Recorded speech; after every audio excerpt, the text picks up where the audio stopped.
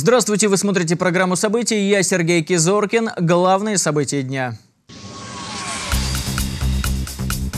В Самаре предотвращен теракт. Мишенью боевика из Ускинельского едва не стал полицейский автомобиль. Проводили зиму рекордом. 2000 блинов съели горожане только за полтора часа на площади Куйбышева в прощенное воскресенье. У православных христиан начался Великий пост. Он продлится 7 недель и завершится Пасхой 16 апреля. Теракт в Самаре предотвратили в праздничные дни сотрудники ФСБ в результате спецоперации. Житель Усть-Кинельска планировал взорвать машину с полицейскими. Несостоявшимся подрывником оказался 20-летний парень, которого завербовали в запрещенную в России группировку «Исламское государство». В ИГИЛ его приняли по интернету. Пособники в Дагестане прислали ему инструкцию, как сделать самодельную бомбу и перечислили 20 тысяч рублей на эти деньги – он купил компоненты для изготовления взрывчатки. Дома молодого человека обнаружили детали бомбы и детонатор. Ранее он уже попадал в поле зрения органов безопасности как член запрещенной религиозно-экстремистской группы, которую ликвидировали в апреле прошлого года. Тогда его оштрафовали за размещение в сети интернет-материалов террористического характера. Сейчас мужчине грозит уже уголовное преследование.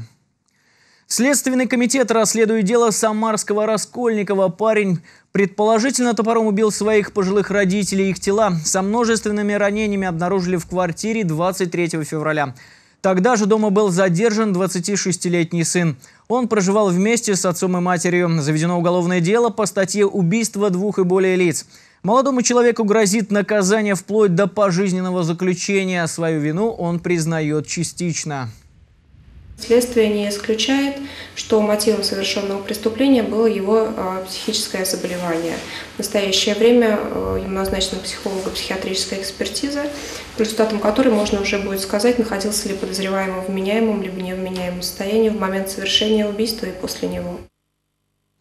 Сотрудники ГАИ выясняют все обстоятельства аварии, в результате которой мужчина получил сотрясение мозга. В пятницу 24 февраля 28-летний водитель ехал на автомобиле «Опель» по улице Дачной. Около 20-го дома машина попала в яму, которую припорошила снегом. Андрей Горгуленко с места событий.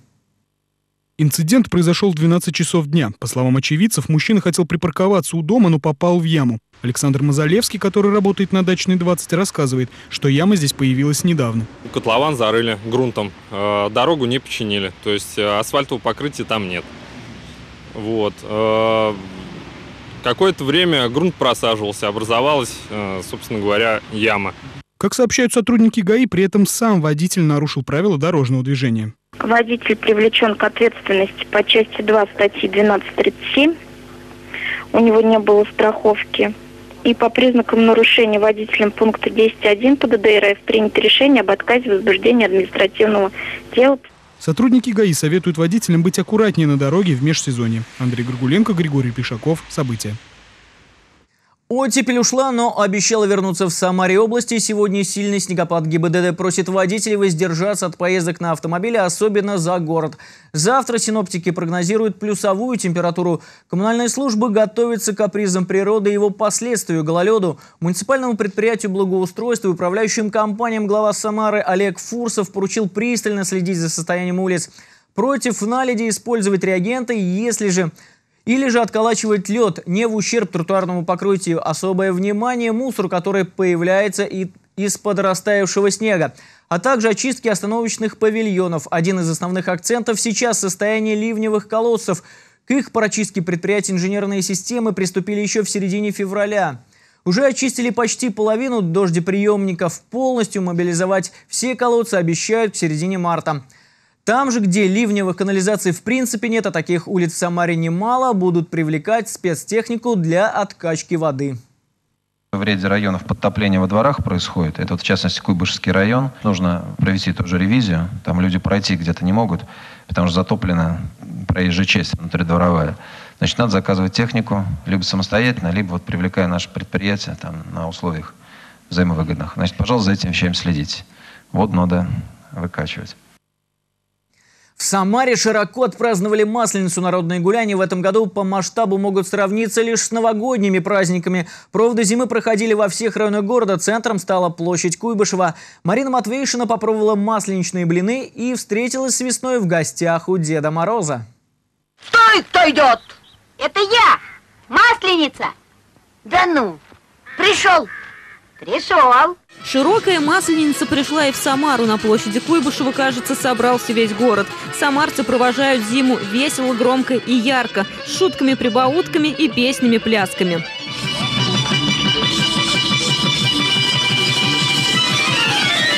Сегодня я нахожусь на площади Куйбышева, где э, кушаю блины, пью чай, участвую в соревнованиях, смотрю концерты. Очень нравится. Вот покупаем, веселимся и радуемся. Вообще супер, масленица классная. Мне очень нравится, что такое мероприятие более масштабное здесь. Круто. Все отлично, все хорошо организовано. Много народу, большие гуляния, много конкурсов. Детям нравится и нам тоже. Музыка, свежий воздух и хорошее настроение пробуждают аппетит. И, конечно, самарцы не остались без главного масленичного угощения – блинов. Очередь за блинами растянулась на несколько метров, но движется она очень быстро. К празднику испекли 2000 блинов и угощают ими совершенно бесплатно. Подкрепились, можно и удаль молодецкую испытать. Гиревой аттракцион, перетягивание каната и подъем на столб. Изо всех сил пытаются парни добыть призы. Кто для себя, а кто на девушку впечатление произвести.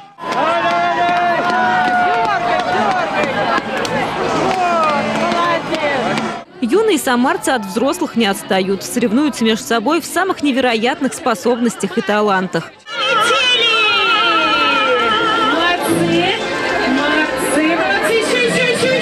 А в избе Деда Мороза в это самое время важные гости – сама весна.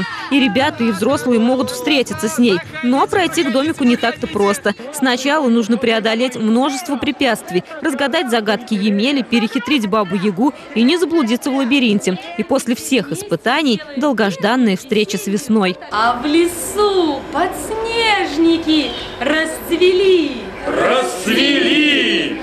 Ой, ты ясно, солнышко, посвети! Посвети! О! А вот и солнышко к нам пришло! Как провожают самарцы зиму, с высоты 23 метров наблюдает огромная маслена. Конструкция поражает и своими грандиозными масштабами, и красотой. Вся площадь украшена в русском стиле, что задает особый характер народным гуляниям. Очень много людей сегодня на площади Куйбышева. Город постарался сделать так, чтобы здесь было очень интересно. Разные аттракционы, очень много сюрпризов для маленьких наших самарчан. Я тоже пришел сегодня с ребенком, со младшим. И он в восторге от того, что увидел сегодня на площади. Самарцы хорошо умеют отдыхать, хорошо праздновать и, соответственно, хорошо работать. Город заслуживает этого и таких праздников, и таких замечательных мероприятий. Мы видим, как это востребовано. На площади развернулась настоящая народная ярмарка. Более ста мастеров Самары, а также Пензы, Ульяновска, Нижнего Новгорода представляют мини-шедевры народного творчества. И тут же проводят мастер-классы для всех желающих. Широкая масленица удалась на славу. Празднуют ее в Самаре не только здесь, на площади Куйбышева, но и в отдаленных районах Самары. И из парка Дружбы наш корреспондент Алина Чемерис. Я ей передаю слово. В парке Дружбы тоже весело и многолюдно здесь. Масленицу празднуют с самого утра. Вот он, главный символ – чучело маслены. Здесь тоже очень много всего интересного. Давайте узнаем впечатления жителей. Как вам Масленица? Здравствуйте. Здравствуйте. Замечательный праздник. Очень много молодых людей, счастливых лиц. Организаторы постарались. Пока одни наслаждаются музыкой в исполнении артистов самарских, другие участвуют в боях шапошных и учатся на ходулях стоять. На Руси таким незамысловатым способом обучали навыкам держать равновесие. Воин, будучи потом где-то в бою, то есть на хлипких мостах, либо еще на чем-то, то мог спокойно стоять. В принципе, удобно. Только лед, немножко лед, поэтому скользко. В парке работает и масленичный базар. Вкусные лакомства, изделия ручной работы, праздничные товары на любой лад. За творениями Алины Деминой очередь выстраивается. Ложить в красный угол, либо перед входом около дома, чтобы э, вся энергия плохая копилась на ней, в, в этой куколке. И потом на следующий год сжигалась. Либо просто загадывать желание можно и сжигать. Все, кто в этот солнечный день умудрились замерзнуть, могли полакомиться блинами и сладким чаем. Самовар, как и в древние времена, здесь дровами топит. Должны быть здесь дрова, и должно все гореть.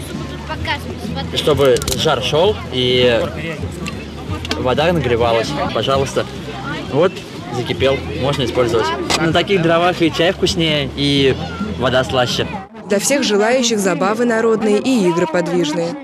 Игра русская народная поцелуйная, золотые ворота. Два хоровода, мужской и женский. Вот они, те самые ворота. Когда заканчивается кричалка, они закрываются, и те, кто попался, целуются в щечку. Самой зрелищной частью праздника стал конный турнир. В умении хорошо держаться в седле соревновались свыше десятка юных спортсменов. Когда все барьеры были взяты, гуляния продолжились. Алина Чемерис, Марина Матвейшина, Василий Колдашов, Артем Сулайманов. События. Никогда не унывать, а всех блинами угощать наша редакция подвела итоги вкусного конкурса на самый лучший рецепт блинов в честь Масленицы. Зрители выкладывали свои оригинальные рецепты в социальные сети с хэштегами «Масленица Самара» и «Самара ГИС». Зрительница Евгения Бовичева поделилась рецептом блинов без муки, а Ольга Ларина украсила кулинарные изделия своими стихами. Все подробности конкурса и рецепты ищите в нашей официальной группе ВКонтакте. Евгений отправляется в кофейню «Конфитюр», а Ольга смотреть кино в «Киновертикаль». Совсем скоро стартует конкурс к 8 марта. Следите за обновлениями. У православных христиан начался Великий пост, самый продолжительный и строгий в году. Он продлится 7 недель и завершится Пасхой 16 апреля. До этого дня православные соблюдают Умеренность в еде обходится без мяса, яиц и молочных продуктов. В понедельник, среду и пятницу самые строгие дни поста. Рекомендуется есть овощи, фрукты, хлеб и пить воду. Во вторник и четверг горячую обезжиренную пищу, в субботу и воскресенье разрешено добавлять в еду масло и рыбу. А вот беременным, больным и людям, занятым тяжелым физическим трудом, советуют строгого поста не придерживаться. Великий пост – это прежде всего э, духовное очищение наше. Вот можно есть, например, солености. Вот у нас ну, у всех есть в доме соленые огурцы, помидоры, перчики, лечи. Мы делаем, да, заготовки вот делаем осенью. Это все можно употреблять в пищу. Капустка соленая, значит, можно квашеная, там все салаты из капусты можно. Полторы тысячи человек в День защитника Отечества почтили память воинов, погибших на полях сражений. Церемония возложения цветов к вечному огню традиционно прошла на площади Славы. В этот же день глава Самары Олег Фурсов вручил городскую награду участнику войн в Афганистане и Чечне Александру Ярославцеву. Подробнее Валерия Макарова.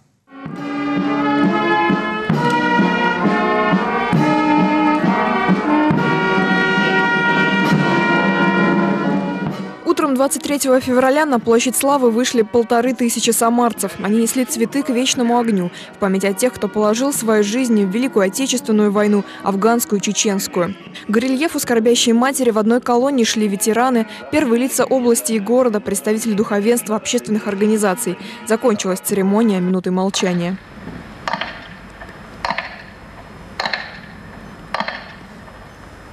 Вечная слава героям! Погибшим защитникам Отечества. Вы знаете, в этот день я всегда вспоминаю Великую Отечественную войну и тех товарищей, с которыми я воевал. Мы стремились попасть первыми в бой, хотя мы знали, что каждую секунду мы можем потерять жизнь.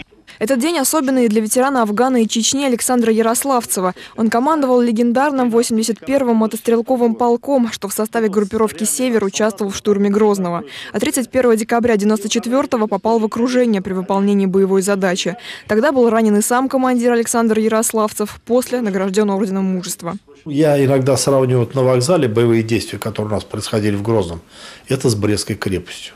Почему? Потому что они оказались у меня окруженными со всех сторон на вокзале. И там они со 131-й Майкопской бригадой, мой батальон первый, и Майкопская бригада, один батальон, они сутки держались и дрались в полном окружении. С Днем защитника Отечества военного лично поздравили глава Самары Олег Фурсов и председатель городской думы Галина Андреянова. Хотим поблагодарить вас и вручить награду городскую за ту работу, которую вы проводите городе и по увековечению памяти своих коллег, и по воспитанию молодежи. Спасибо большое. Теперь рядом с боевыми наградами почетное место на кителе займет и этот нагрудный знак за заслуги уже в мирное время. Валерия Макарова, Артем Сулайманов. События. Самара попала в рейтинг крупнейших городов России по стоимости жилья. На каком мы месте, знает наш экономический обозреватель Лариса Шалафаст. Здравствуйте! В начале недели нефть дорожает и уверенно приближается к отметке в 57 долларов за баррель. Валюта чуть подорожала. На 28 февраля Центробанк установил курс американской валюты на отметке 57 рублей 93 копейки. Евро 61 рубль 25 копеек. Золото стоит 2286 рублей, серебро 33 рубля 6 копеек за грамм. В самарских банках сегодня дешевле всего. Доллар можно было купить за 58 рублей 50 копеек, дороже всего продать за 57 рублей рублей 70 копеек. В России занижена стоимость рабочей силы, оплата труда не соответствует квалификации кадров, сообщила вице-премьер Ольга Голодец. По ее словам, на уровне МРОД в России зарплату получают почти 5 миллионов человек. Минимальный набор продуктов в стране подорожал на 1% и теперь составляет 3726 рублей, сообщил Росстат. А Самара заняла 22 место в рейтинге крупнейших городов страны по стоимости жилья. За один квадратный метр у нас в среднем отдают 59 тысяч рублей. Возглавила рейтинг Москва, где за один квадратный метр просит 204 тысячи. На этом все. Удачи в делах!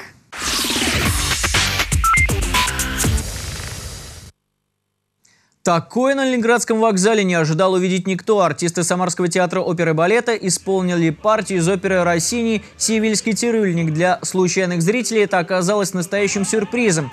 Их не сразу обнаружили в толпе, а после исполнения артисты снова в ней растворились. Самарская труппа уже не в первый раз устраивает такие флешмобы, приятно удивляя окружающих.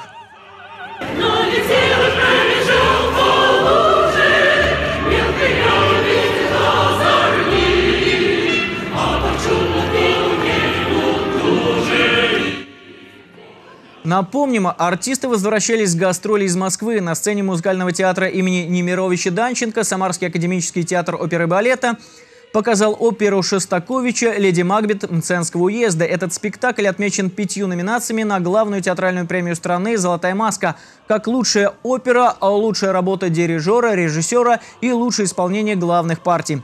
Торжественное награждение победителя национальной премии состоится 19 апреля. И до этого времени еще два театра Самарской области блеснут в Москве. Это театр-студия «Грань» из Новокуйбышевска, который покажет свой корабль дураков в марте, и театр драмы имени Горького привезет в столицу историю лошади в начале апреля. А вот в начале марта в Самаре стартуют Дни корейской культуры. Из южнокорейского города Тханьон приедет делегация. Их ждет концерт классической музыки в исполнении творческих коллективов Самары, выставка изделий прикладного искусства и презентация туристического потенциала двух городов Самары и Тханьона, которые называют городом художников и морских побед.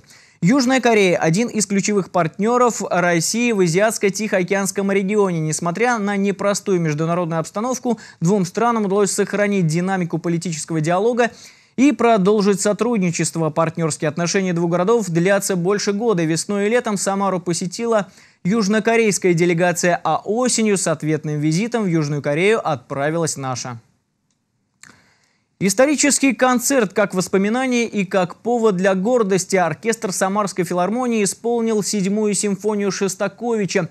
Это музыкальное произведение тесно связано с Самарой. Именно в нашем городе, тогда еще Куйбышеве, Дмитрий Шестакович написал четвертую, заключительную часть симфонии, и именно в Куйбышеве она была впервые исполнена в 1942 году. На юбилейном концерте побывала Олеся Корецкая. Концерт, пропитанный историей, открывает сюита из балета «Золотой век». Раннее произведение Дмитрия Шостаковича, тоже с темой столкновения советского и враждебного ему фашистского мира. В свое время вызвало немало споров среди критиков. Главное событие вечера – седьмая симфония, ленинградская. Завершенная в Куйбышеве, она была впервые исполнена здесь же и сразу облетела весь мир.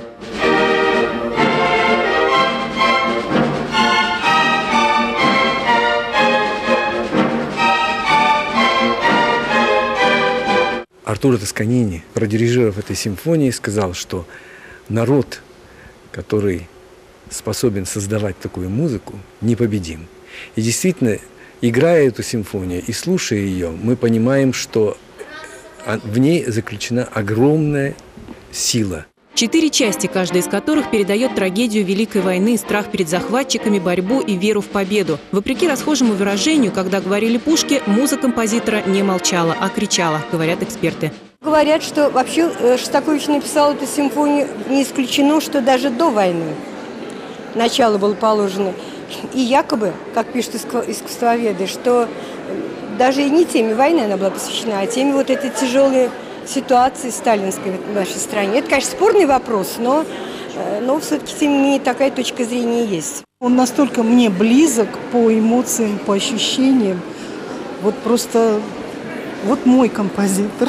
В холле филармонии, как иллюстрация к музыке, картина самарского художника Юрия Филиппова. Как и Дмитрия Шостаковича, его волновала тема насилия и военных угроз. Ну и отсюда появляются такие картины, появились э, такие картины, как Гроза над Волгой, древние «Жигули», э, террорист, террористы и заложницы, э, терроризм и седьмая симфония Шостаковича.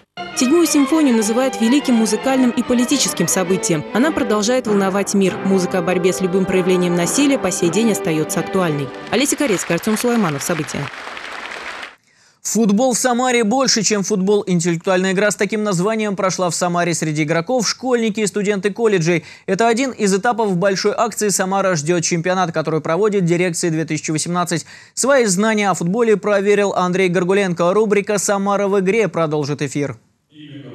Команда «Фифасики» школы номер 149 знает о футбольном чемпионате мира все. И кто самый результативный игрок, и сколько раз родоначальники игры были чемпионами. Футболом ребята увлекаются давно, а потому вопросы интеллектуальной игры не стали для них сюрпризом. Вообще вопросы были не такие сложные, так как э, мы с друзьями очень хорошо разбираемся в футболе в свое время сами тоже играли, поэтому э, все вопросы не создавали так особой сложности.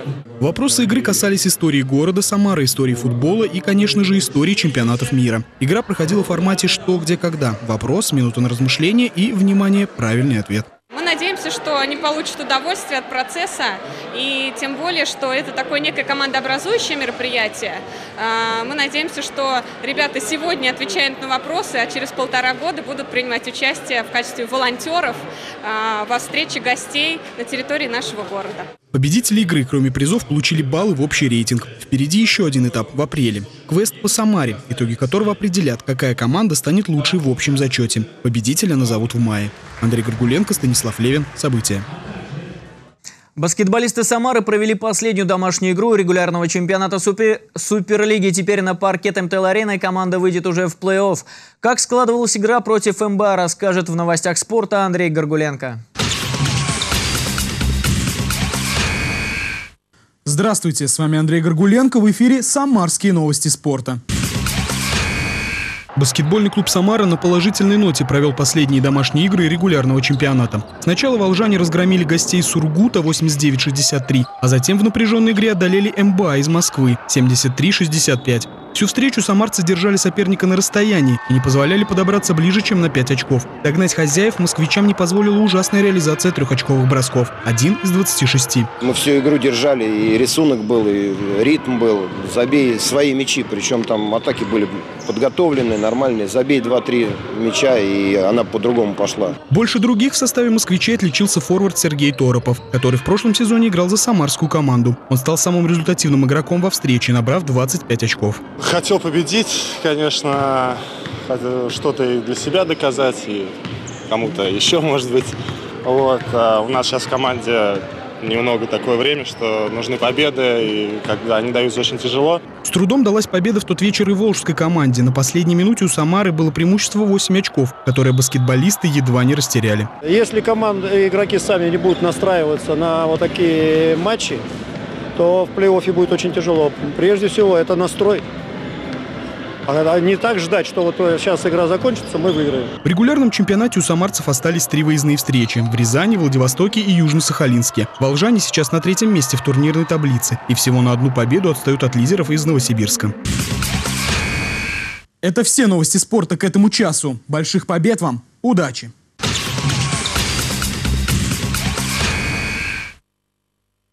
На этом наш выпуск завершен. Всем удачи. Увидимся.